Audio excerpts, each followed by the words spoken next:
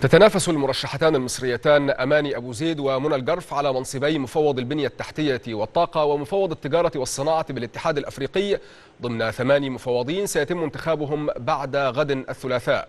كاميرا أون لايف التقت أماني أبو زيد التي تعمل حاليا في منصب قيادي ببنك التنمية الإفريقي للتعرف على أهمية هذا المنصب.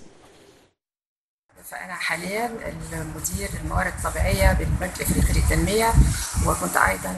كبير خبراء للبنية التحتية والاندماج الإقليمي وتنمية القطاع الخاص بالبنك الإفريقي بالإضافة إلى مناصب عديدة جدا في إفريقيا وفي المؤسسات الدولية العالمية. خلفيتي إن أنا أصلا مهندسه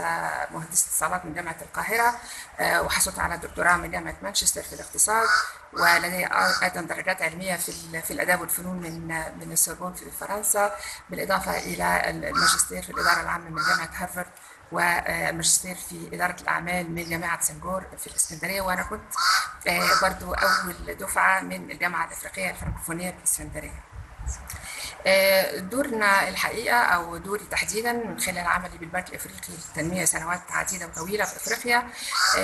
هو دعم التحول في القارة من خلال البنية التحتية أساسا كونها دعامة أساسية للتنمية وتنمية القطاع الخاص وأيضا دعامة أساسية للاندماج الإقليمي في القارة الإفريقية. البنية التحتية أيضا هي عامل أساسي في رفع مستوى المعيشة لكافة الشعوب الأفريقية ولذا أوليتها في سواء في دراساتي أو في عملي أهمية خاصة. وأشرف إني أنا كنت المؤثرة أو المؤسسة الأساسية والممول الأساسي لأكبر مشروع طاقة شمسية في العالم